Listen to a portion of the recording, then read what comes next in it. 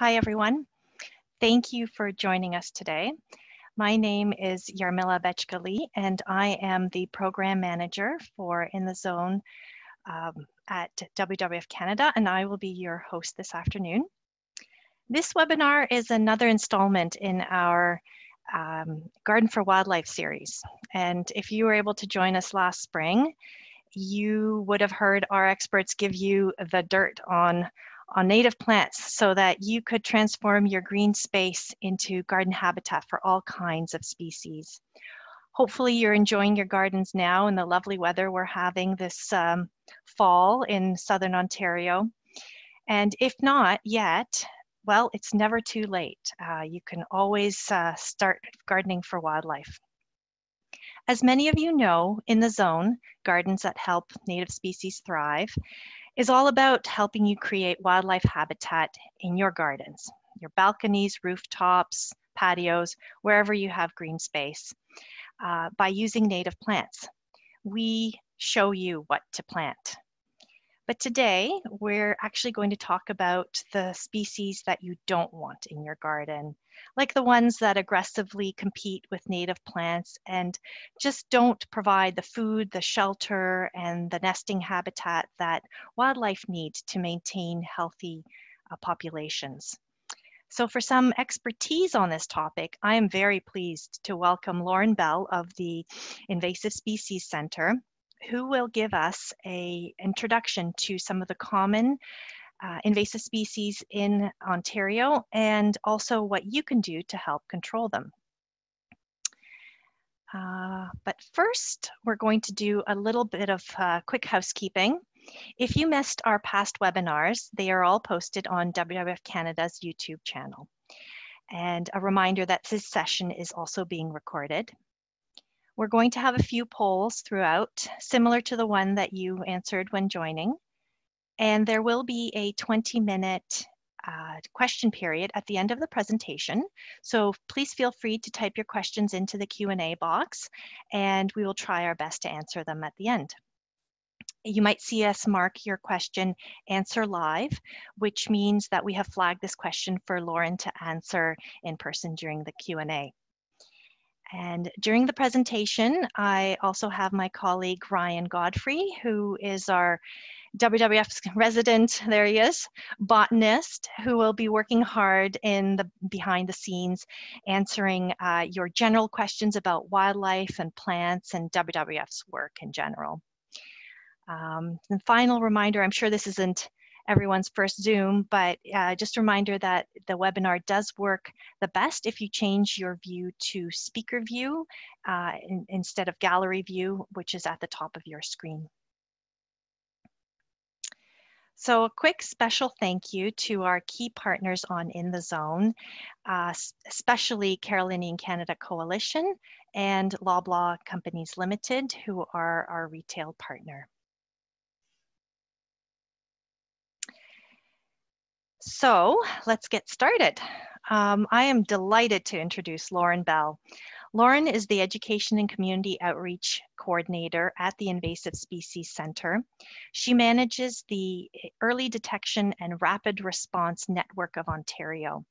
And this network focuses on training and educating community members across Ontario on invasive species identification, management, and monitoring. Lauren joined the team in 2016 and has over eight years of experience in the environmental nonprofit sector. She currently sits as the Canadian representative on the Midwest Invasive Plant Network Board of Directors, and she manages the Invasive Species Center's Zooplankton Diagnostics Laboratory. So welcome, Lauren, and over to you. Hi, everyone. Good afternoon. Um, as Yarmila said, I'm Lauren Bell. I'm the Education and Community Outreach Coordinator. And today's webinar is titled Invasive Species in Ontario Gardens. Uh, before I get started, I just wanted to thank the WWF for the opportunity to speak today, um, and also to thank everyone for joining us.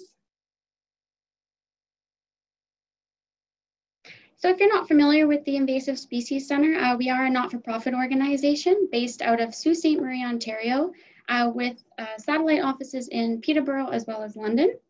We were founded in 2011 with the goal of connecting stakeholders, knowledge, and technology to help prevent the spread of invasive species in Canada. And so this is our center here. Uh, and the next slide, and this is our team.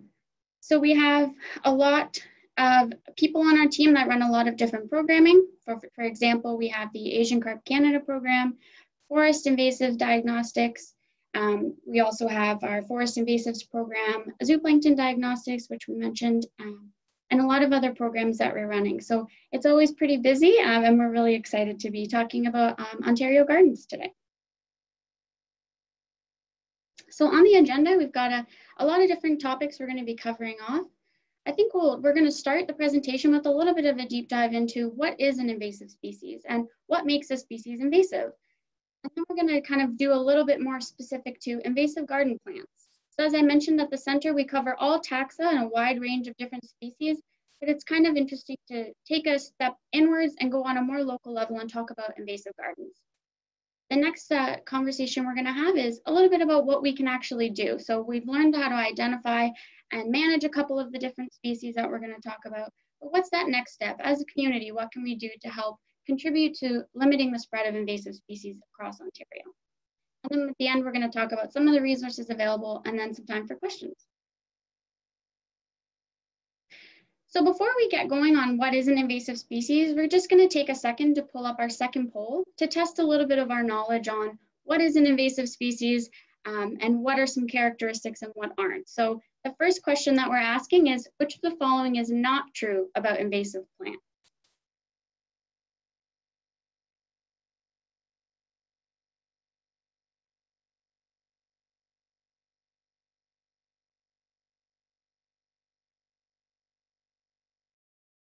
Give it a second here to, to get some answers in.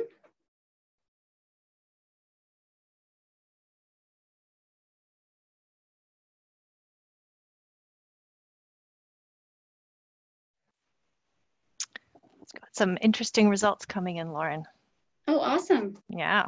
I'm going to let it go just a few more seconds. People uh, have been reading the question and are busily answering now. Good. Five more seconds or so. Okay. So I'm going to end the poll now and sharing the results. Okay, great. So 74% of people answered any plant grown in a greenhouse. Awesome, so let's kind of deep dive a little bit so we can get a better understanding about what is an invasive species and what is an invasive plant.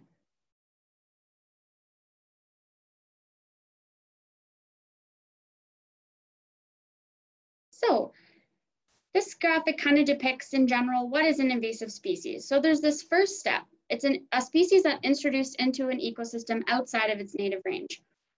But that can't be where it ends. And as you'll see at the um, a note here, a non-native species does not mean it's an invasive species. And that's a really important clarification. The second step has to occur. It has to have potential impacts on the ecology, the economy, or the society within its introduced range. So that second part is really important. It has to cause impact or harm on one or three of those pillars. So the pillars being ecology, economy, or society. If it doesn't have that harm, then it's not classified as an invasive species. So that distinction is really important.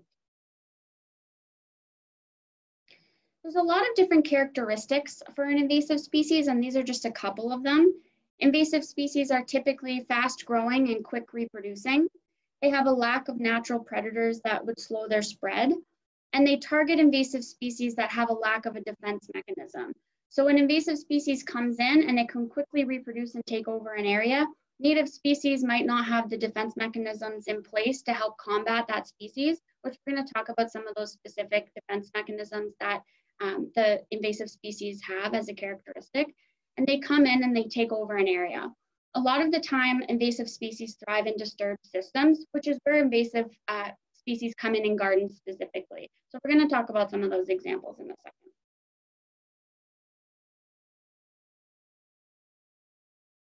Just to put it into a little bit more of an Ontario specific context, at the center we do work on a national scale, but invasive species in Ontario has some pretty prolific impacts. And that's because, unfortunately, when it comes to invasive species, Ontario is number one, um, which isn't a place we necessarily want to be. So we do have more invasive species than any other Canadian province or territory. Some of the statistics I've pulled here, the numbers, um, 440 known invasive plants in Southern Ontario, 39 known or invasive insects, 10 invasive tree diseases, and 180 non-native or invasive species within the Great Lakes. So those numbers are, are pretty high, um, and that's why we focus a lot of our effort on Ontario. So kind of zoning in a little bit even further to put it into the context of in the zone and the Carolinian zone, it's really important that we focus a lot of our efforts on really vulnerable areas. And the Carolinian zone is an extremely important part of our biodiversity for Canada. It has the highest number of rare plants and animals in the whole country. And it also has a really high population and a small amount of area. We're also, uh, we also focus on the Carolinian zone because there are a lot of points of entry with uh, the Great Lakes being uh, situated so close, as well as um, movement of invasive species north from the United States.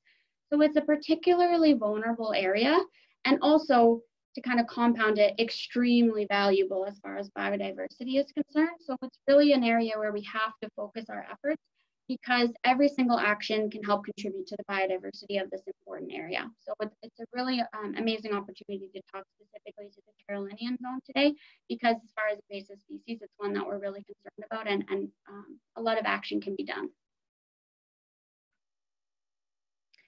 So I just wanted to draw our attention before we uh, kind of dig into the plants uh, a little bit about the invasion curve. Some people might be familiar with this, but it's a, a graph and a model that we use really frequently in the invasive species world. And it depicts the likelihood of eradication and control over time from the point of a species arrival. You can see here that as species arrival at and after, eradication and actual um, complete removal of a species for, let's say, plants, for example, if an invasive plant came in, it lowers um, in likelihood as time passes, and it also increases in cost as time passes. So this red circle that we have highlighted here, this is really where we aim to focus when we do our education and outreach training to raise awareness on a local scale, provincial, or a national scale. Invasive species need to be focused on at that species arrival stage because then we have more likelihood of eradication, we have more likelihood of acting as eyes on the ground to stop its introduction at all, so that prevention phase. So it's really important that we have eyes on the ground or management on the ground in that early uh, um, time of infestation so that we can really focus our efforts and not have to do long-term control over 10, 15, 20 years and really focus on uh, small scale management. So I just need a note here that preventing the spread of invasive species is the most cost-effective way to reduce the spread of invasive species. So really focusing on that prevention of either preventing species from coming into your garden or preventing the spread outwards into natural areas from your garden. So that's kind of the scope we're gonna focus on today.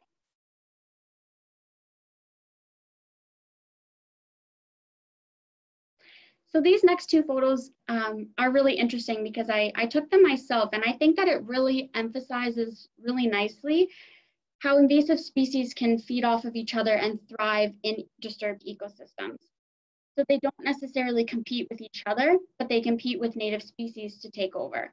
So it's an unfortunate photo to show the first one is a garden um, here in Sault Ste. Marie. And it, you can see here, we've got that first arrow is Japanese knotweed growing along the uh, side of a, a home.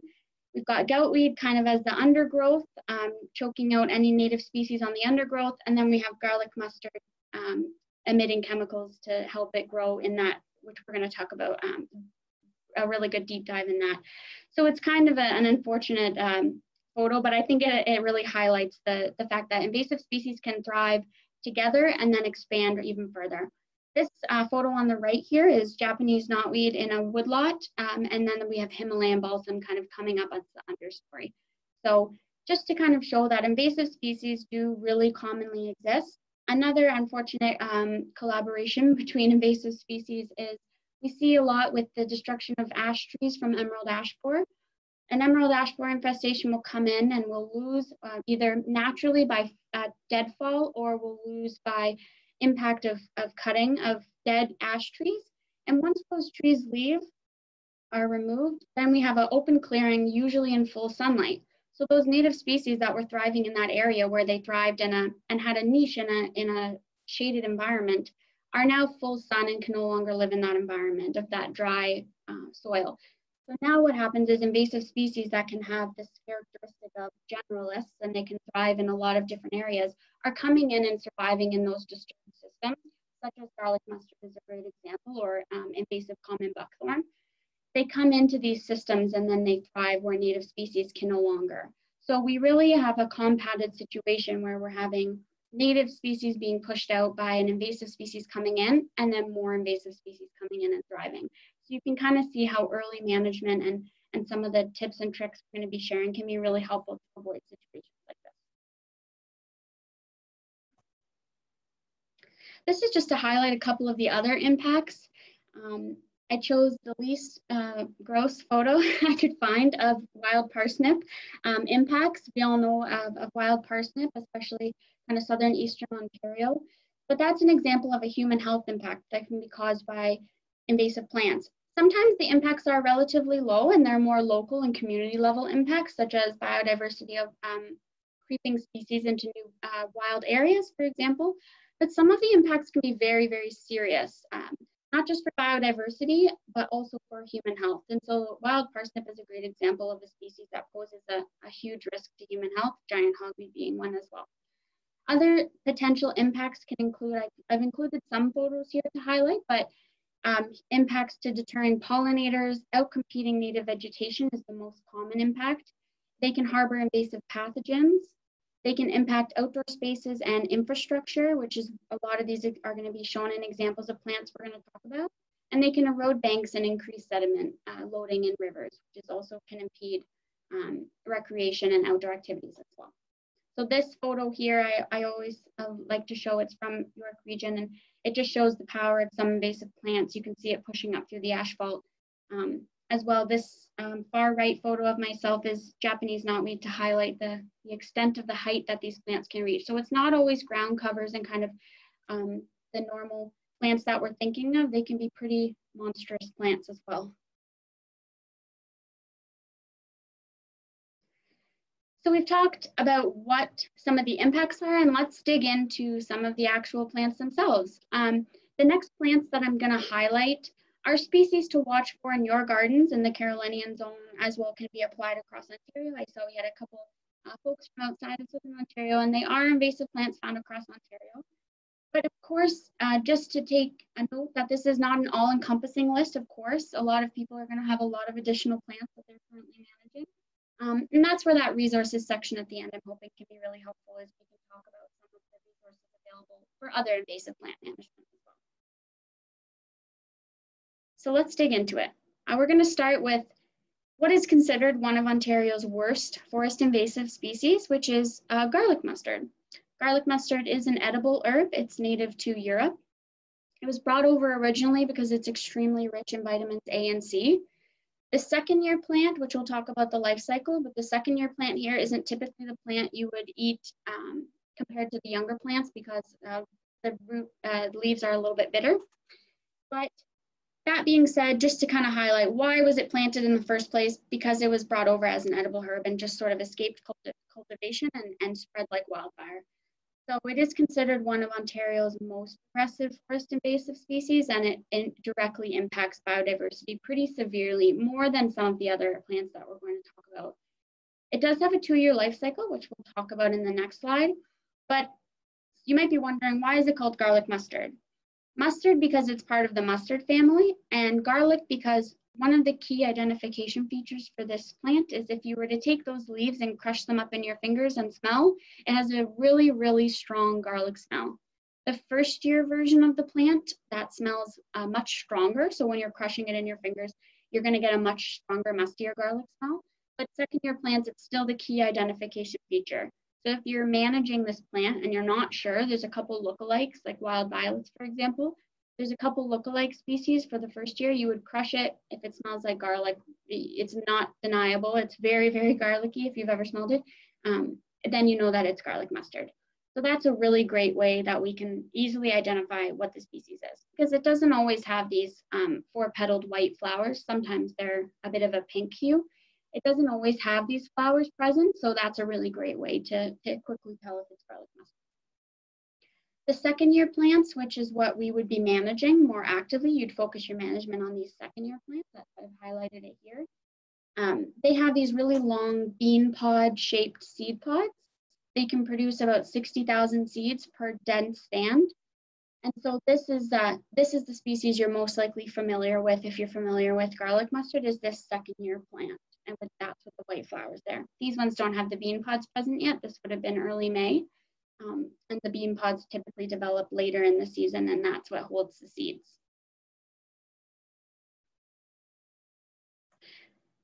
So within about five to seven years of garlic mustard coming into a new area, it can establish itself and then become the dominant plant in that area.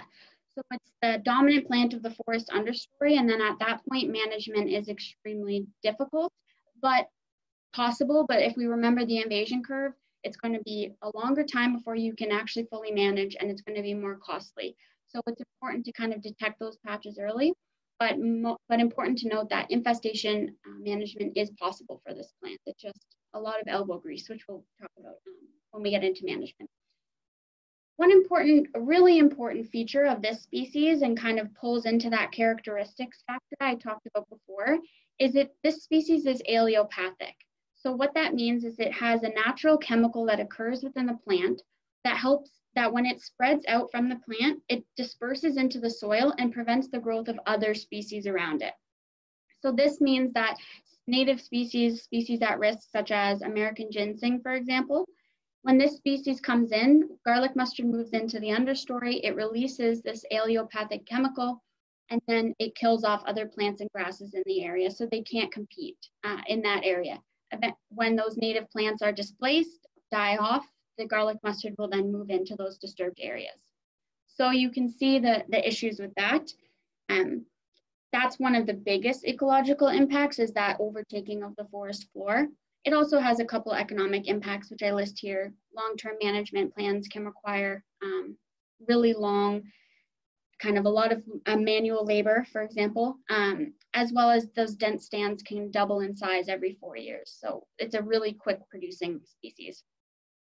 Some, a little bit more on the identification if you were looking to manage, just to note that um, this time of year is not the time of year to be managing garlic mustard, and we'll talk about that in the next slide.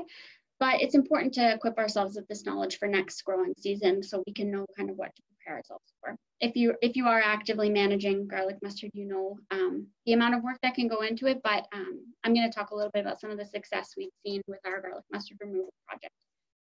The first year plant you can see on the left hand side of this graphic here, that's a basal rosette. And that's the first year plant. That species, uh, garlic mustard is evergreen plant, so it will exist under the snow during the winter, build its root system, and then appear in the spring as this second year plant that produces seed. So this photo here shows the basal rosette. You can see those kind of kidney shaped, sort of, uh, you can see how it can be mistaken with violet. Um, and then if you crush those leaves, they'd have a really strong garlic smell. So that's how you know right away um, that it was garlic mustard and they grow and they get the name basal rosette because they grow in this cluster where they all come from one single stem. All those um, individual leaves come from one single stem under the soil. So that's a really great way to identify it. Um, they are a pretty light green, kind of really, really uh, ribbed and lots of deep veins. And then the second year plants have a much more triangular shaped leaf um, and they have the white flowers and, and bean pods.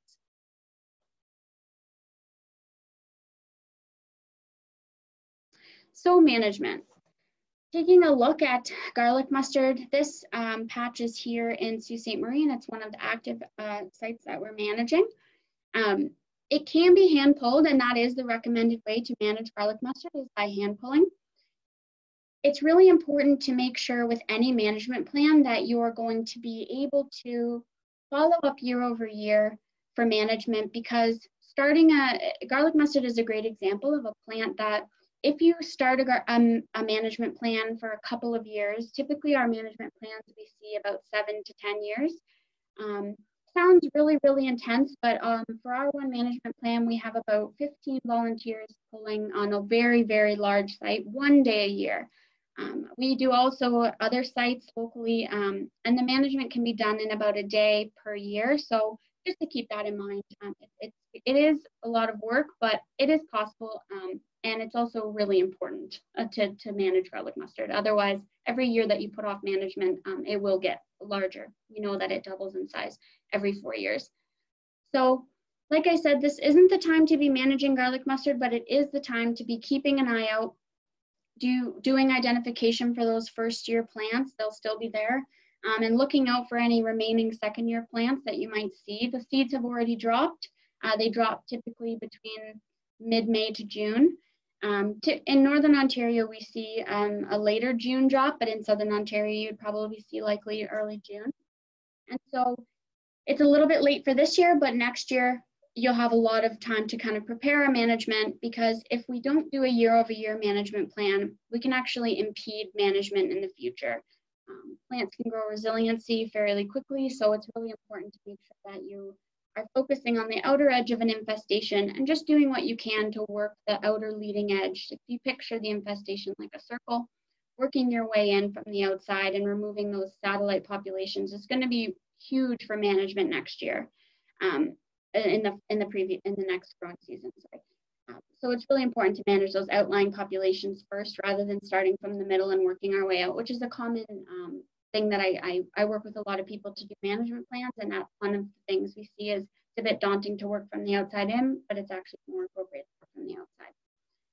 Um, and the second part, which is, is good to know because we know that it's two phases of a life cycle, it's really important to focus your efforts only on the seed producing plants when you're starting management. At the very end, we'll work on, and this is all in the best management practices, which I'll talk about in a second, but at the end of any rest of any management plan, we want to focus on restoration and how can we build native plants back into that. But at the very beginning of any management, you really want to focus your efforts on what can I do this growing season and what's going to have the biggest impact.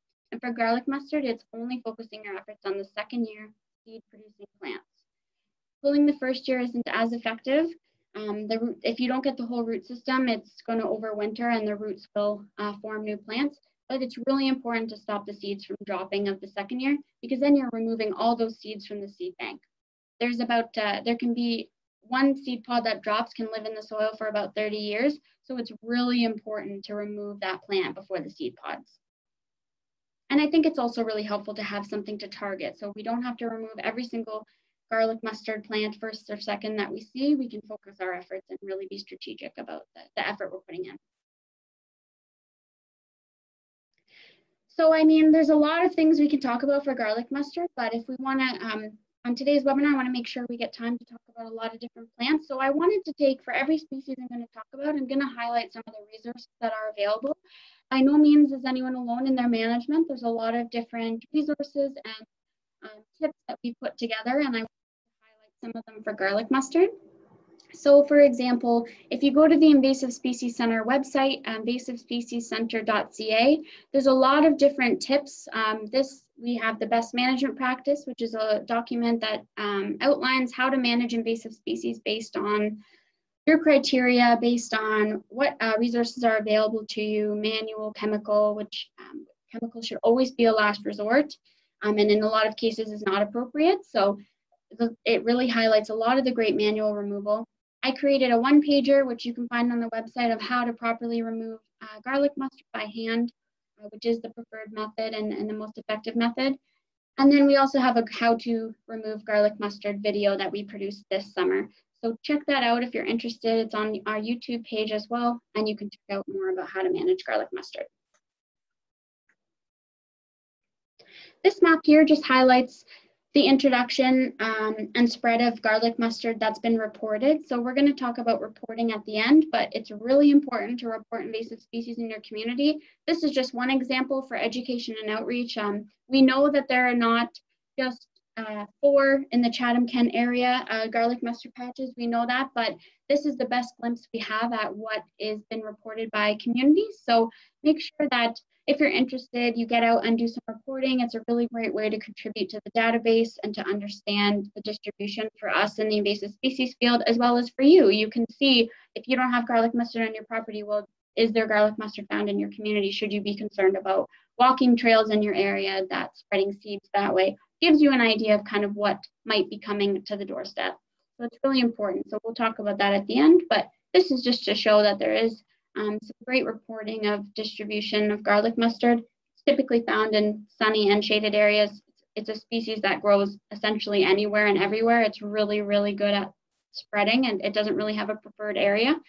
Um, it has spread throughout all of Ontario. We have it very heavily here um, and in Northern Ontario, as well as, of course, in Southern Ontario.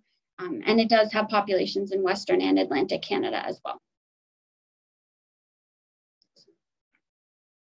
Okay, so the second species that we're going to talk about is Himalayan balsam. And this one's maybe a, another one that we've seen around. Um, and sometimes I met with um, some questions about, well, what is the issue with Himalayan balsam if it's such an amazing pollinator attractor? Um, so that's something that we're going to talk about today. So just a bit of an introduction, if you're not familiar with Himalayan balsam, it's an invasive herbaceous species. It was originally introduced into North America as a garden ornamental plant. And it can grow a lot higher than a lot of people think. You, it can reach heights of three meters. Um, and we've seen that pretty commonly actually in Northern Ontario. Uh, we've done surveys all across Ontario and here in Northern Ontario, we, it, it, typically does reach that three meter height. And I've seen a lot of um, daunting photos from Southern Ontario of it reaching over top of people's decks um, and really high heights. So it is a bit taller than a lot of people expect. And, and that's one of the key identification features that differentiates it from some other native species. Um, but it is a touch me not plant. So what that means is it spreads by seed. And when the seeds dry out throughout the growing season, they mature and they dry. And then any type of vibration will cause them to pop and spread up to five meters away from the parent plant. So this could be naturally through wind, or it could be people brushing up against it. Um, it could be pollinators coming in and, and touching the seed. Um, any type of vibration, it's very sensitive and it will just pop and seeds will fly um, everywhere. Maybe we've seen um, them with some other species or you've seen the seeds pop yourself. Um, but yeah, so that's what gives it the classification of a touch me not plant. So one of the reasons, and, and, and each seed pod will typically have about 16 seeds. Um, one of the reasons why this plant is sometimes welcomed into Ontario gardens is because it is seen as a pollinator attractor, which is true. One of the characteristics of this invasive plant is it's extremely prolific nectar producer. So it produces more nectar than almost any other touch me not plant. Um, and this is seems great because you have you go this photo here at the bottom um, i took and and when we were in there there was hundreds and hundreds of bees and wasps while you were in there. So not great. It is a walking trail so not great for walking but great for pollinators. Um, and the issue with this is that because it's so prolific it's actually a competitive advantage. So it pulls pollinators from other native species and they actually can outcompete because these other species are not getting as pollinated as um, this invasive Himalayan balsam, they will eventually die out. And then Himalayan balsam will impede that area and grow in the area where the native species have died out. So it actually uses its nectar production as a competitive advantage against native species. And there's a lot of other uh, great pollinating plants that are better at attracting pollinators uh, and produce just a, lot of nectar as well that can, that Himalayan balsam can be avoided because it does create these dense monocultures um, and the payoff of attracting pollinators um, versus what it does to native species um, just isn't there. So it's just a plant to be avoided. It's not commonly uh, sold in, in garden houses anymore, and, and so that's great. But it is still one that sometimes we really have to push the messaging of, well, there's a lot of great alternatives to Himalayan balsam. Um, and it's great that it attracts pollinators, but there's some negative consequences to that too. I just wanted to take a second to highlight a, a common uh, native look-alike species. This is the spotted jewelweed, which maybe we're, we're really familiar with. It's native to Ontario and it's also a touch-me-not plant, so that's what gives it kind of the, the look-alike. Um, main difference is just general size, leaf shape, the leaves of the uh, spotted jewelweed are uh, soft to the touch as well as scalloped edges, not jagged kind of razor edges such as the um, Himalayan balsam.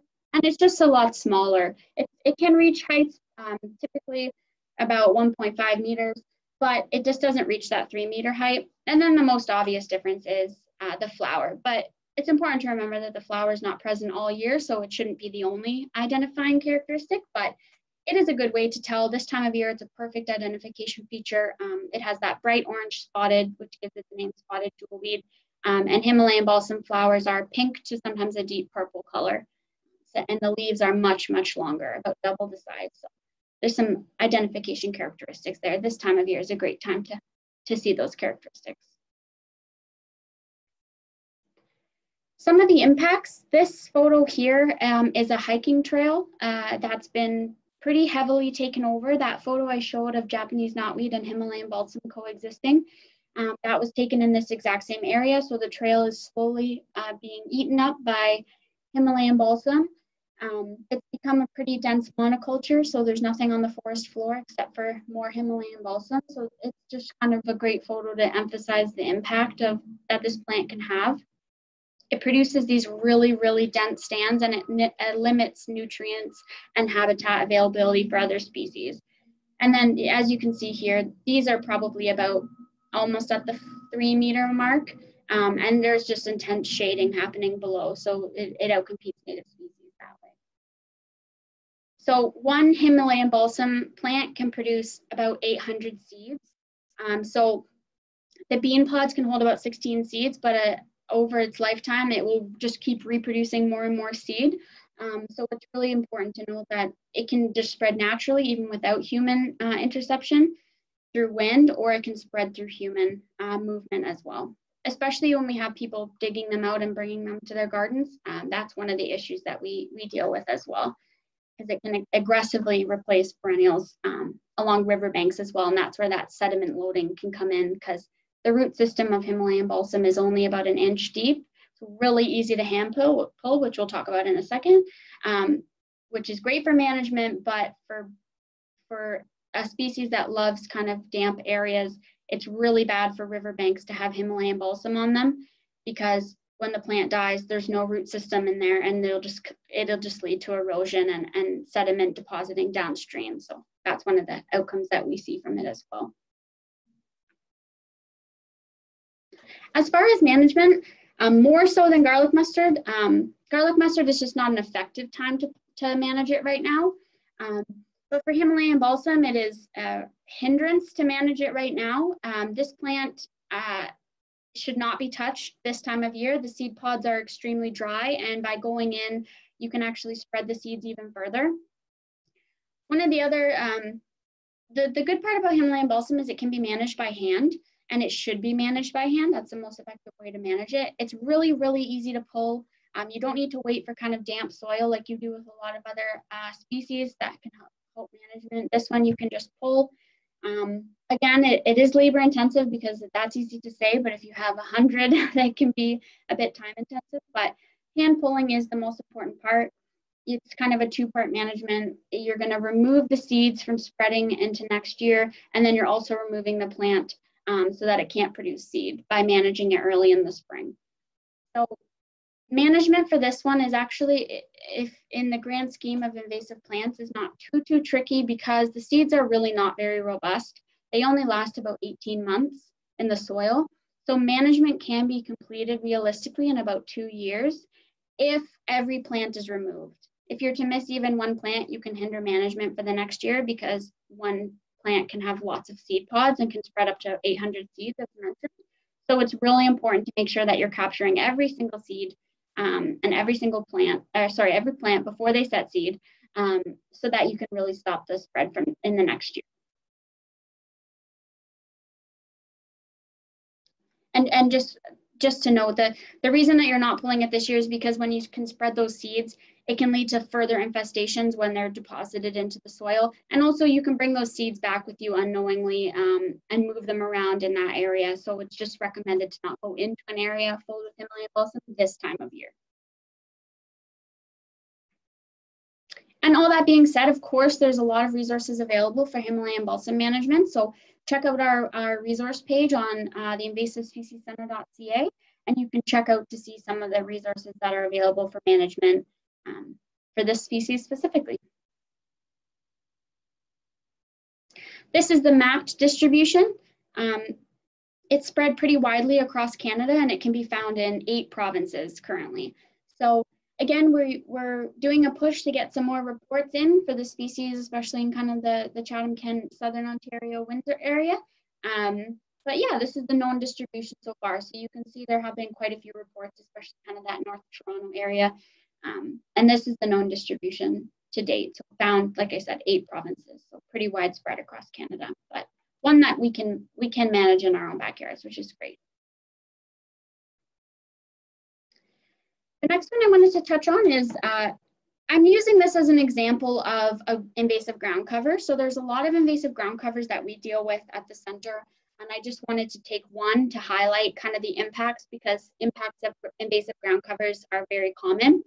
The last species that we talked about are not very commonly found in greenhouses and garden stores and grocery stores, which is actually a really big um, uh, seller of, of plants. Um, and so we, this is the last ones that we talked about are not very commonly sold. They can, be, it's not illegal. They're not on the Invasive Species Act, but it's not very common that they're sold. This one is an example of a plant that can very commonly be purchased um, at garden centers and, and a lot of different areas. And it's one that we're often hit with a mixed reaction because it really thrives. So periwinkle, we, it, there's two different types of uh, species of periwinkle. There's Vinca minor and Vinca major. Vinca minor is what we know as um, common periwinkle, and Vinca major is similar in appearance, but just generally larger. The leaves and, and are a bit larger. But they're both native to the Mediterranean basin and both considered invasive in Ontario.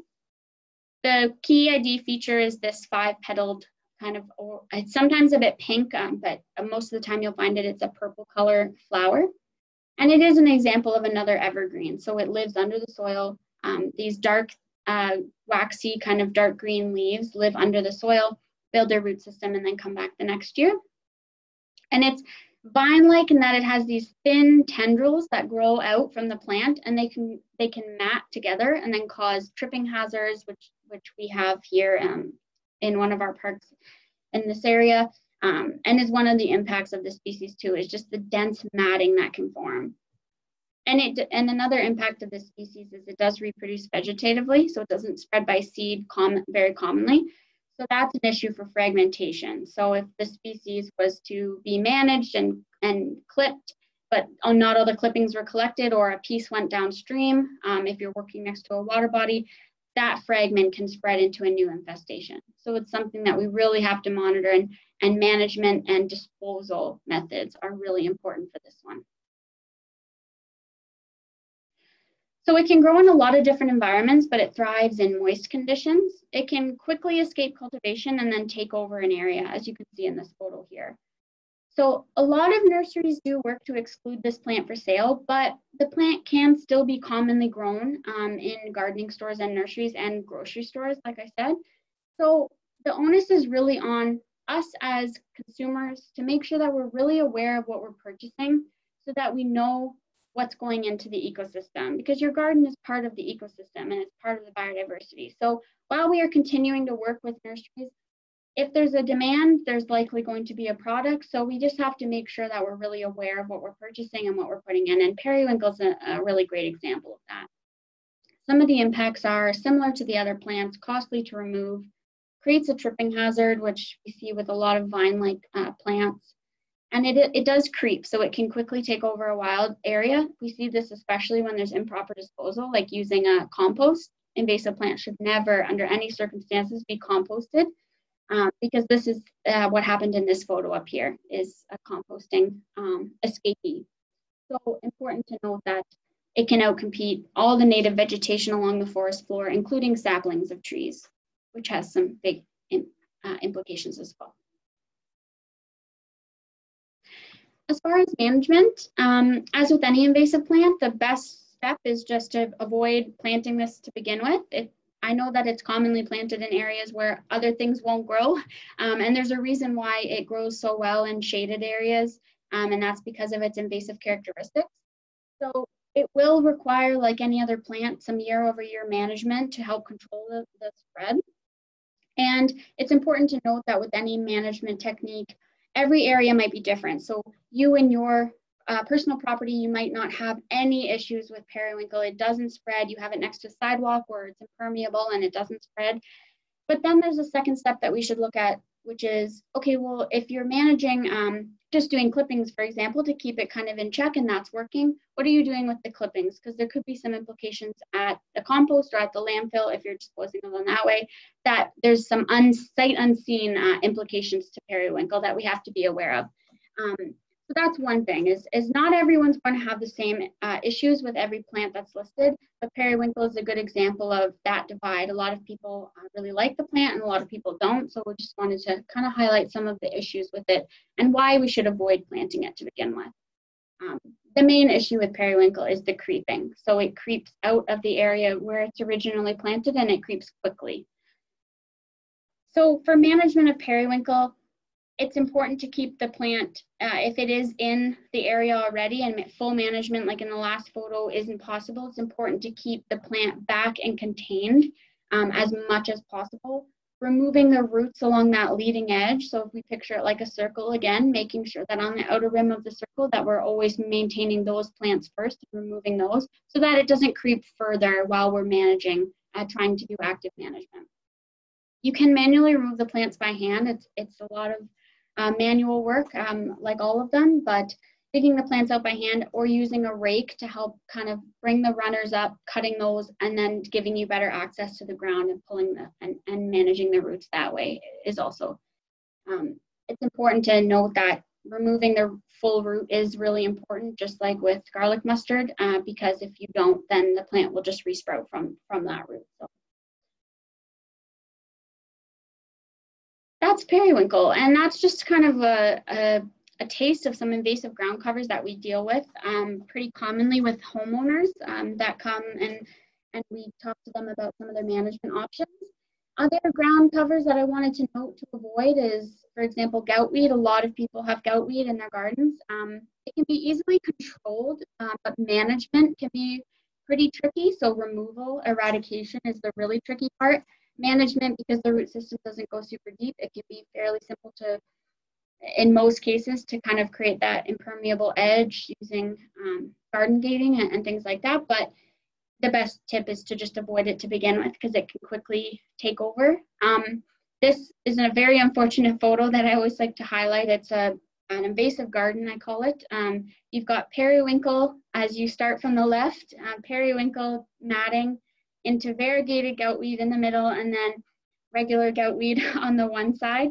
Um, and management for this would be pretty tricky because it's pretty widespread, but just to show kind of the, the invasive plants thriving together as well. And then this is a woodlot that was overtaken by a, a, plant called yellow archangel. So another one that definitely recommend avoiding, similar to goutweed, but has a really fuzzy, uh, thick leaf um, in comparison. So check those out um, if you're interested in learning more about those two species. Those are definitely invasive ground covers. The last one I'm going to run through um, as far as invasive plants go is English ivy. This is a good example of an invasive vine, so I wanted to give a little bit of a, a feel for a lot of different kind of types of plants that we work with at the Invasive Species Center. So this is English ivy, very, very commonly sold, especially at grocery stores um, very common sold invasive plant. It's a good example of a plant that if it's indoors, if it's potted and not in a, in a natural system, it's okay. It's one that if, if it's a species that you really like, growing it indoors, it is a bit tricky to grow indoors. Um, it's not quite as simple as, as it thrives outside. Um, so sometimes people are a bit confused about why it's on the list because it dies inside. Um, and so it's a good one I always like to highlight just to kind of show that it's not always a absolutely not, you cannot have this plant. It's more of a, these are some of the alternatives. The alternative for English ivy being bring it inside and bring it into a pot. Um, and then we don't have to worry about creeping into natural systems.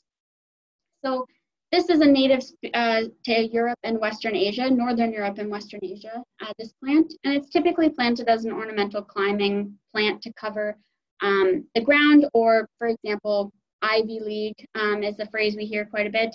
Um, and that's an example of it's kind of used to drape over um, brick and it uses that waxy leaf that you can see to grip onto the and climb uh, up any type of material. So it's a really good climber, um, which we'll see in the next photo. Oh, in two photos, sorry. Um, you can see a good glimpse of the waxy leaf in this impact slide. That's the leaf that's used to climb, and it's a really excellent climber. So this one has a lot of different impacts. Um, economically, it forms these dense mats that can damage infrastructure, which you'll see in the next slide. It creates a tripping hazard from matting similar to periwinkle.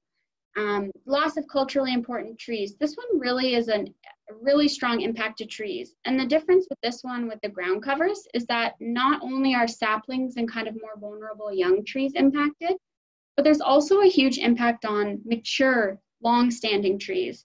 So this species will climb up the tree, take over the entire tree, including branches and leaves, and then this, tree can no longer photosynthesize and will eventually die. So it's a kind of jarring example of not just kind of the more vulnerable species on the forest floor can be impacted, but also our mature trees, which of course has social impacts as well. A lot of us um, have really important trees. We know if we've lost trees to uh, your um, emerald ash borer, for example, um, it can have a prolific impact on our properties um, and are just socially, culturally important trees. So losing them to this vine um, is, is pretty disappointing. So it's something that we want to manage uh, right off the bat. And also there is a human health impact to this plant because it's believed to be poisonous uh, to humans if consumed. So this photo really highlights what I'm talking about. It's not just the forest floor that we have to worry about, it's also um, infrastructure. So you can see that it's starting to move over onto the table um, at this park. And if this was a public uh, Ontario park, for example, um, there could be implications to that too. Um, infrastructure damage. And then also, of course, the most kind of jarring is that this full mature tree is being taken over by this vine. And eventually, if not managed, um, this tree could be killed because it doesn't uh, have the ability to have get any photosynthesis. So for management of English ivy, essentially you're going to want to cut it. If it's climbing up your tree, you're going to want to cut it at a comfortable height. So any height that you're able to reach. This plant vines from that point up can be pulled and are bagged, are dead essentially, once you've solarized them. And then it's just the ground that you have to worry about. So at least you're stopping it from spreading any further up the tree and attacking the tree leaf. But then it's important to get to kind of pull those vines and shoots from below the ground and bagging those. So making sure that you're doing a year over year effort is going to help remove that seed bank um, and, and keep that plant from going any further. So that cutting at a comfortable height is really important because it breaks your management into two sections. You have to pull the plants from the top and then just remove the vines uh, that are climbing. And this one, just to note that there's um, very, it's always important to wear gloves when doing a management of any type of invasive plant, but this one specifically has been known very commonly to cause light dermatitis um, and skin rashes. So handle English ivy with care, definitely. And then just before we, we uh, go into what you can do, just don't forget to check your trees as well. Your trees are an important part of biodiversity, just like your gardens. Um, and so there's a lot of different things you can uh, look for. We're not going to talk about invasive um, pathogens and insects in this webinar, but there's a lot of resources out there to help you check your trees. I just highlighted two examples. This is um, Hemlock woolly adelgid, which is found in the Niagara region in Ontario. It's an invasive insect that takes over eastern hemlock trees and Carolinian hemlock trees. And then we also have dieback from Asian longhorn beetle, which isn't um, established in Canada, but is one that we're always acting as eyes on the ground. So just to say that always be checking your trees. If there's unusual symptoms happening on your tree, find out first what the tree is, um, if you already know, and then see what pests or, or pathogens um, target that tree specifically and look for some of those signs and symptoms. So let's talk a little bit about what you can do. I just wanted to, to start off by, by kind of highlighting the fact that your garden does have an impact on the biodiversity of your community. Um, sometimes it feels very, very, very local level. What can my garden have to do with kind of the biodiversity of Ontario? But when you take that number and multiply it by all of the different um, lands that we have in Ontario um, and different types of uh, management happening on it, it's really, it is an important part. And it's important to make sure that your that your backyard or, or your woodlot or your property that you own has a positive impact on biodiversity. And there's a lot of different ways we can do that. I like to use this photo, which we created for Invasive Species Awareness Week a couple years ago. I always like it to use it to remind people that your backyard ponds are also part of your gardening and part of your kind of biodiversity that you're contributing to your community. So make sure that you're being really conscious in backyard ponds as well of what you're planting and what you're putting in that pond. Water hyacinth being a common species that's really actively managed in the United States and is still for sale in, in um, Ontario. So one that we always recommend not. This is just to highlight um, the fact that we talk a little bit about management, but it's really important that your management includes proper disposal techniques. This is an example of Himalayan balsam being thrown into a woodlot um, that had in, in grass clippings that they didn't know that they were spreading Himalayan balsam, but these grass clippings now have Himalayan balsam spreading into that uh, woodlot. And just an example of this was a former compost pile um, and is now kind of a, a, Himalayan balsam garden. So it's just important to note that your disposal should always be part of your management plan. And we're going to talk about the general rules of disposal now. Step one is just to always wear gloves when removing invasive plants a lot of plants in general, um, everyone has different reactions to plants, but a lot of invasive plants have one of their characteristics being um, the potential to cause dermatitis and, and, and especially with people with sensitive skin. So just always best to wear gloves, waterproof gloves. Um, the second part, these are really general rules, so it's important to make sure that you're consulting your best management practice if one exists. Um, because, for example, you might have an only clear bag rule in your um, district, which means that you'd have to adapt these um, by using tarps and, and things like that. So these are really general, but in general, Make sure that you're placing every and all plant parts in construction grade garbage bags. So that construction grade is the most important part. Um, using a regular garbage bag, there's going to be tears, there's going to be wear from being in direct sunlight. Um, so construction grade just gives you that extra level of insurance that your bag is actually sealed and you're not distributing seeds or plant parts when you move the bag. And those are available at any grocery store or hardware store.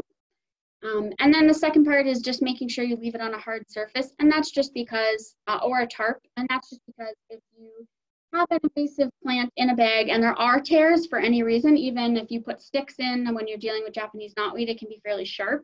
Um, so construction grade might not also be up to the task always. So if there are small, small holes, you're not directly putting them into soil where they can then seed. Uh, so that's why we put them on a hard surface. And then um, in most uh, jurisdictions, you're just going to solarize those for at least one week, and that's going to kill off all viable plant parts. And then you're going to dispose of that uh, in your normal trash. And again, those are general guidelines, but they work for most invasive species. Some of the other ways, just generally, that you can help contribute to stopping the spread of invasive species is making sure that you're not dumping your bait. If you're an outdoor person that enjoys angling, um, that's one that we always push the messaging buying and burning local firewood, but also buying local soil and not distributing soil over long distances.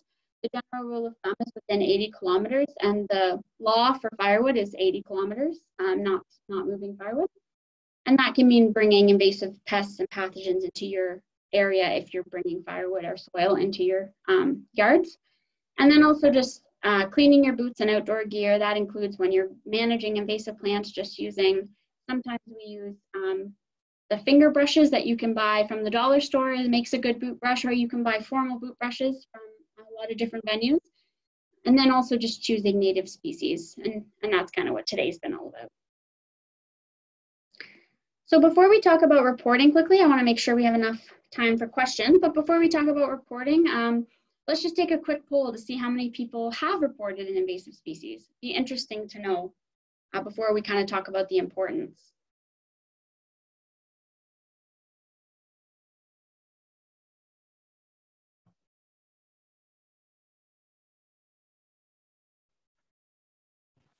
Okay, Lauren, we have lots of answers coming in. I'm going to let it go for a few more seconds. Awesome. And will cut it off in just two more seconds. There we go. And sharing results. Okay, so not a lot of people have reported invasive species.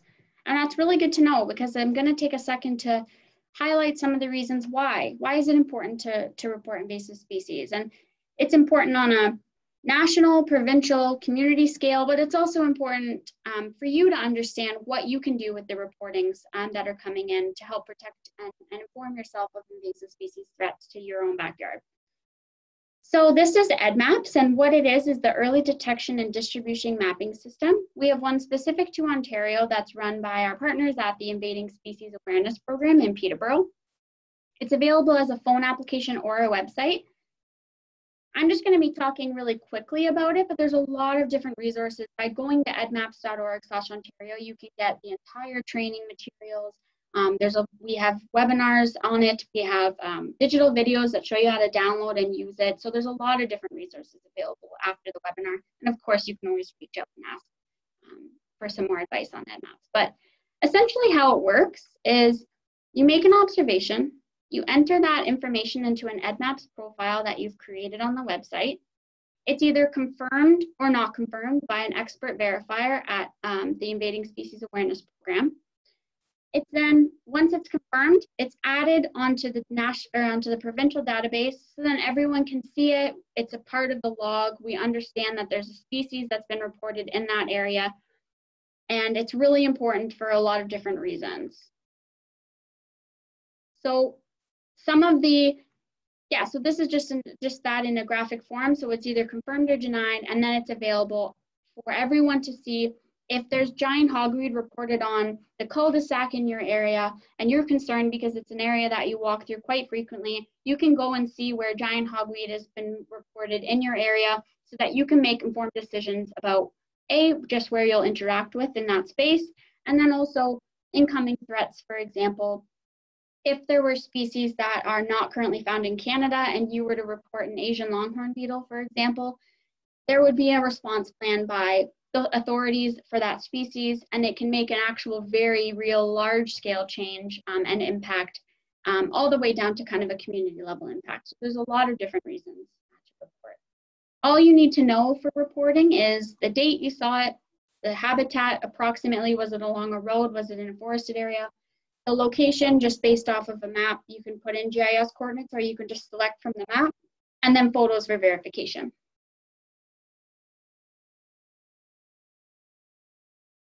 Next slide. So um, there's a lot of different reasons and, and reports can be used for a lot of different things. For example, they can be for education and outreach like we're using today. We use them in an education capacity. They can help us understand the leading edge of new infestations. Like we know that uh, dog strangling vine has never been reported in Sault Ste. Marie, but it's very common in Southern Ontario. So those reports that are coming in really help us give an understanding of the leading edge of that infestation. It helps us understand movement over time. If you're eradicated a species, you can put that information in and we can understand better where the management's happening. And it can uh, help influence policy or enact a response plan for those really high priority species that, that come in. And oh, some of those high priority species include um, species that aren't currently found in Canada or Ontario that are could be pond plants, for example, are some of the species listed as high priority. And there's a couple other ways to report as well. You can report to the Canadian Food Inspections Agency, or you can report to the Invading Species Hotline directly if you wanted to talk to someone um, about EDDMapS specifically. Some of the questions we get sometimes are, well, why the Canadian Food Inspection Agency? What do they have to do with invasive species? And the, the general answer is the, the CFA is one of the highest authorities on invasive plant pests um, is the highest authority on invasive plant pests that pertain to food and plants in Canada. Invasive species can be a national security risk, especially when they impact uh, food production. So that's kind of where the CFA comes in. They're making sure that import and exports are really uh, heavily monitored. Um, we know what's coming into the country and we know what's leaving.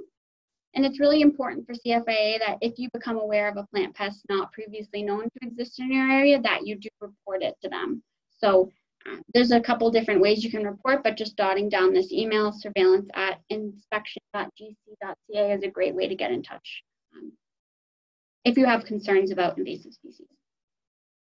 And just making sure that you're always that you're always planting native species, or at least trying your best to find the resources um, to help guide you in that. Not transporting soil over long distances and consulting the Grow Me Instead guide for your species. And so if you're not familiar with it, this is the Grow Me Instead Guide. It's produced uh, by the Horticultural Outreach Collaborative here in Ontario. Um, and it, that's a committee run by our partners at the Ontario Invasive Plant Council who do amazing work with invasive plant um, and plant management. This is a brand new, the 2020 edition. So this is the third edition available and it's available on their website for a digital download as well as our website. And I just really like this quote that came from, but then and I think it helps tie everything together nicely is that Gardening is a popular activity in Southern Ontario and around the world, and when practiced in a thoughtful manner, it's part of society's wise response to climate change and biodiversity loss, two of our greatest global challenges. So I think that's a nice kind of quote to summarize uh, some of the reasons why gardening and native gardening is so important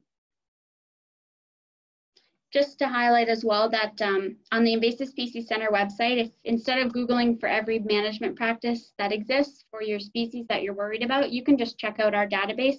It's fairly comprehensive. Of course, if you think we've missed any, just reach out to the email provided on the page there, but it is a comprehensive list of the best management practices that are available um, across all species um, that we've been able to find in existence. So it's a really great place, one-stop shop to start and check out how to manage your species effectively based on the science and, and research findings. And that can all be found on our Invasive Species Center website. There's a lot of different resources we have on our page, best management practices. Our species pro, uh, profiles are where you'll find all the info about uh, the species I talked about today and more and then some video resources um, and a lot of other items. So I recommend checking it out if you're interested in, in learning more. Some of those resources that we listed are, are here. These are available on the website. Technical management bulletins, best management practices. And if you're interested in kind of a more educational capacity, we have some fact sheets that link invasive species and their impacts on different things, such as municipal assets, um, climate change, uh, species at risk and also the invasion curve. So if you wanted to deep dive a little bit more about the importance of that curve that we talked about at the beginning. You can also find more about our webinar series. So we have a new webinar series that started this year. Our next one is on October 29th, um, and it's an update on beech leaf disease. So if that was a species of concern that you're worried about, or you're worried about the state of the beech trees um, in your property, you can check out that by going to our website and register.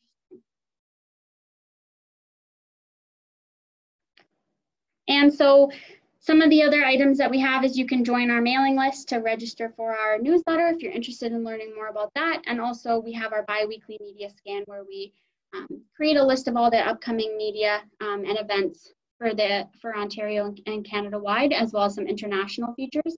And that's just a great way to stay up to date on some of the news coming out um, in the invasive species world. And that's our website there, invasivespeciescenter.ca if you are interested in learning more. And that's it for me. This is my um, contact information, so please reach out if you uh, have any questions um, in the future. We're always available to help. Um, and yeah, I'll turn it over to some questions.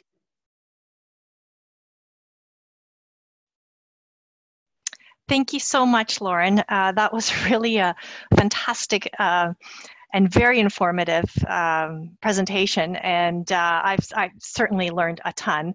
So thank you for that. And I, I feel confident that we have armed our audience with uh, all the information they need to really go out there and, and start helping to uh, combat those invasive species in their neighborhoods.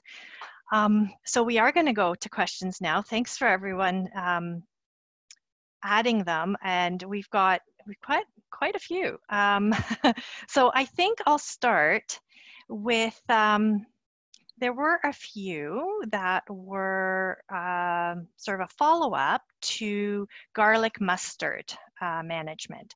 So, one of them was regarding you were saying um, that this isn't the time of year to man, this is not the time of year to manage garlic mustard by hand pulling. But is there any reason why we as gardeners can't weed it out when we are able to do that? Or is it, is, isn't that better than doing nothing at all? Yeah, really great question. It just comes down to the biology of the plant. To manage it now is not the most effective use of, of the effort that goes into it because the seed pods have already dropped.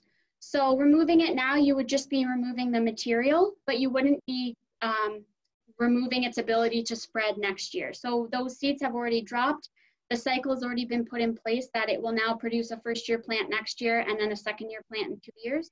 So by managing it right now after the seeds have already dropped, yes, you are removing that material, but that's all you're doing. You're not actively removing the plant before it sets seed and before it drops seed. So if it's a sightly issue or an aesthetics issue, definitely you can remove it, but the process and cycle, unfortunately, has already been set forth. Um, the seeds have already dropped into the soil, so you won't be limiting the spread for next year.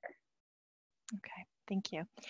Uh, there was a follow-up question for uh, garlic mustard, and that is how long should you wait until you plant anything where you have yeah. pulled out garlic mustard uh, with reference to the allelopathic chemical properties. Um, apparently, this person has heard that jewelweed has successfully outcompeted garlic mustard in certain areas. And can this be planted the same year that the garlic mustard is pulled? Yeah, great question. Jewelweed is actually one that I've very commonly heard of people planting um, in place of because it can handle um, chemically rich soil. Um, so that's interesting to hear more confirmation on that. Um, but yes, as far as management uh, restoration, typically a management plan for garlic mustard, if you look at the best management practice, is about seven years. So in that seven year, and, and the best management practices are great because they go year by year, kind of what to expect. If you were to keep up an active management year over year, typically when we do ours, we see about year four, we start to see at least a 55% reduction in total second year plants, which is great. That's It doesn't seem like a lot, but after that, once you've removed, because you know it's every two years, once you've removed those second years up to that point, you start to see really significant reduction after that.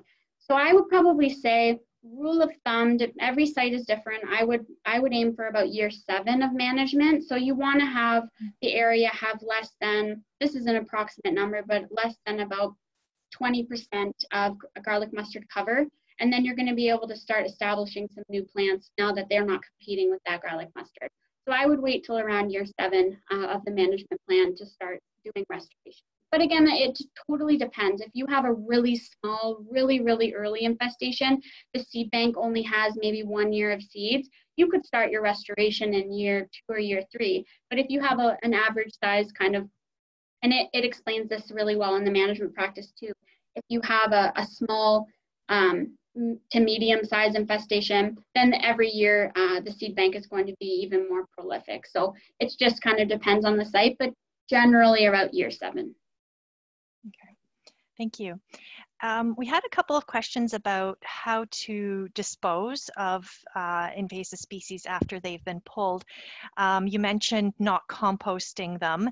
And so uh, one question was, is that in just in home composters or in municipal composters as well? So would you send it out with the uh, yard waste? I'm, yeah, not, great question. um, we never recommend using brown paper bags, and there's there's reasons for that. Um, when you're solarizing, you're getting the intern. This is um, based on studies that have been done. If you're using a brown paper bag, we know that the black um, component of a black construction grade garbage bag is what helps get it that internal temperature needed to kill off plants. For every single plant, it's going to be different. If you're removing buckthorn, something with a really deep taproot, um, and you're bagging and, and doing that, um, if you're not burning it, you're going to need a higher temperature for solarization than say um, garlic mustard, which has a little bit of a smaller, a lot smaller taproot um, and has the ability to be a little bit more vegetative. So the kind of general answer is it's never recommended to use brown um, yard waste bags as a general rule, and it's just because internally it's not going to get a high enough temperature to actually solarize. If you're then sending it off to a municipal compost, there can be creep and expansion there in those areas. So it's always just the best bet and a rule of thumb to use flat construction grade garbage bags one week in the sun. If it's particularly cloudy or in the fall when we're not having direct sunlight all the time, keep it for two weeks on a hard impermeable surface so that the internal temperature can reach high enough that those plants will die off and, and cook essentially from the inside. So as a general rule of thumb, I would I would strongly avoid using uh, paper bags for that reason. If, even if it's out of sight, there could be issues on the other end. Um, and it's always important to reach out to your local landfill as well. If you're if you're disposing of something that um, that you think would need to be burned, there's some there's some areas where the landfill can help you with that. They can do um, municipal burn sites or, or things like that. So it's always important to reach out to your to your landfill to see what they do and don't accept. Because, for example, we've run into issues where they don't accept black construction grade garbage bags. So it's important to know kind of what the rules are for your area as well. Mm. Okay, thank you. Um, there were a couple of questions about um, other popular invasives such as Phragmites and dog strangling vine. So um, we're wondering if you could just touch on those quickly um, and, and, certainly point to more resources about them. Yeah, definitely. So um, for dog strangling vine and invasive Phragmites, because there is native Phragmites as well, less popular um, and, and, very uncommon in southern kind of Carolinian zone area, but um, as you move north, we have quite a big population of native Phragmites, so it's important to, um, it's a whole other bag of worms, but making sure how to identify between the two.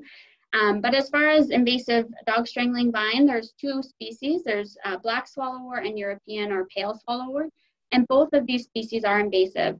It's one that can be managed manually as well. Um, I won't get into the management techniques because there's some really great resources that we produce um, with partners at Ontario Invasive Plant Council and the Ontario government that really shows um, nicely how to manage it. It's a bit tricky, so um, I won't get into the management of that, but just to say that on the website, it is a, there is a Dog Strangling Vine page where you can go and learn more about management for that. It's one that we are commonly working with people to manage. Um, it can be a backyard issue all the way to a massive farmyard, uh, a farmer's field issue. So it's one that is probably one of the most prolific growers. It wasn't featured in today's webinar because the management is a little bit more technical and every single site has to be treated very unique. Um, so it's not one that is kind of a catch-all that we can talk about in a more general context. So it's one that I definitely recommend checking out the best management practice for. Um, and then to kind of switch as far as invasive Phragmites, definitely a, a huge issue in Southern Ontario. Um, it's a cosmopolitan species, so it's found invasive on every single continent except Antarctica. So if you're dealing with this, you're, you're not alone by any means. Um, Invasive Phragmites, again, is a resource that we have on the website that you can check out, uh, the best management practice. But essentially, for manual removal of Phragmites, um, it can be done using um, multiple times over the growing season using a sharpened spade uh, to get under the root. With any invasive plant management, it's important to not disturb the system too much. So you're not digging out any invasive plant um, if you don't have to. And a Phragmites is a great example of that. You're cutting the root system below the ground. And there's a lot of great work being done um, uh, through the Ontario Phragmites Collaborative, um, where they have a lot of great demonstration videos as well. So I recommend checking out our website, which links to all the resources available for Phragmites management. Um, it's even easier to manage Phragmites over water um, if it's in shallow water. So uh, check out the management practices for that if you're dealing with shoreline invasive Phragmites as well. Okay, great, thank you.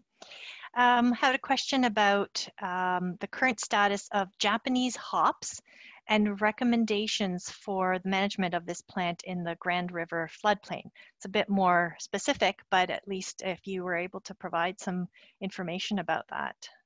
Yeah, Japanese hops is not one of the species that we actively deal with at the Invasive Species Center, so I'm not the, the best person to talk about it with, but I would send my recommendation to reach out to the Canadian Food Inspection Agency. We have a great um, office here in Ontario, and they're uh, probably the best person to talk about, especially when it's um, plant and plant pest related. Um, I know that they're doing some work with Japanese hops, so I definitely recommend reaching out to them. I wouldn't speak to it myself because it's not one that we're actively doing management or um, outreach on currently, but every single year that changes, of course.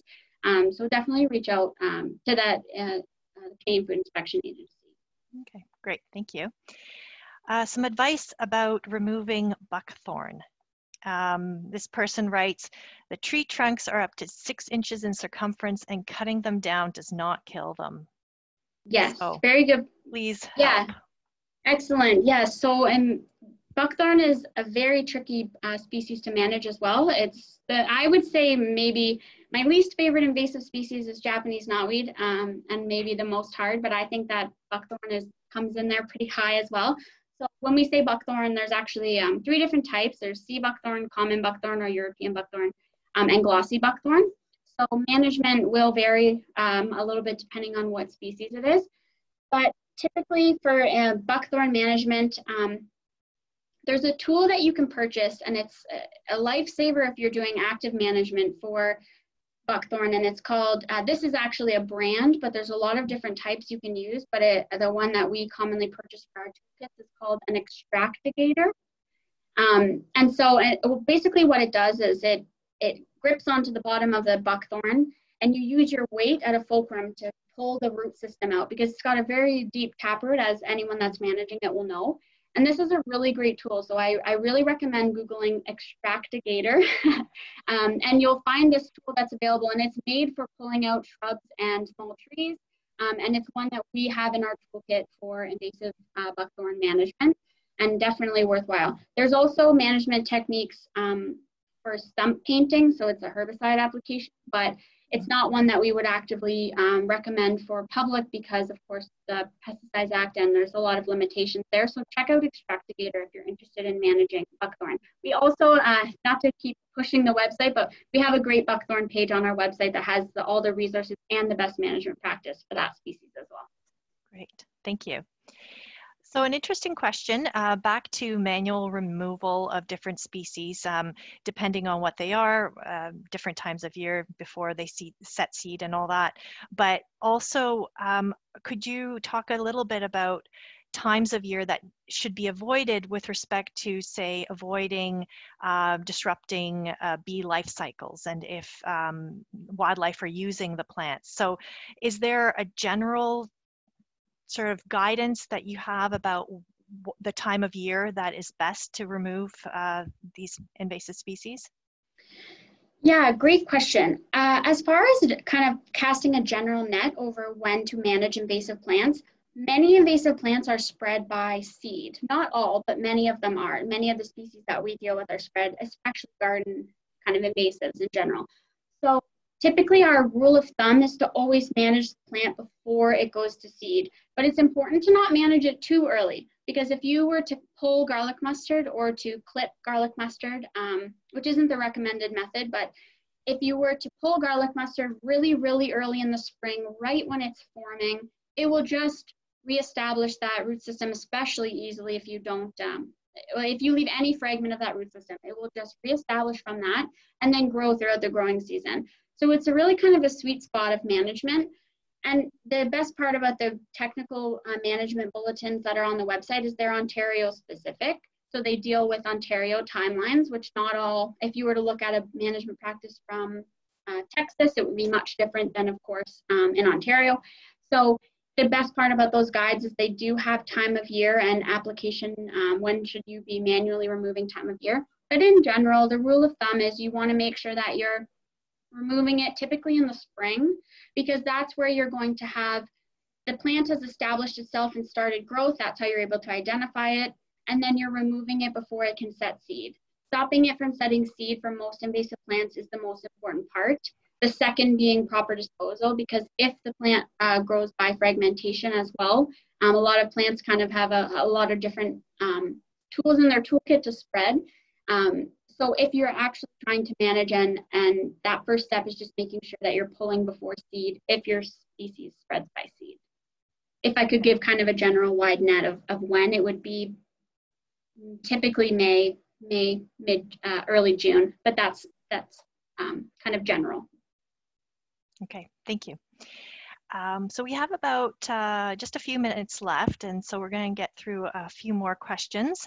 Um, one additional follow-up about Himalayan balsam, actually, on um, as uh, you know, on the shoreline or by um, stream banks, and you're saying that that's a very popular place for it to establish.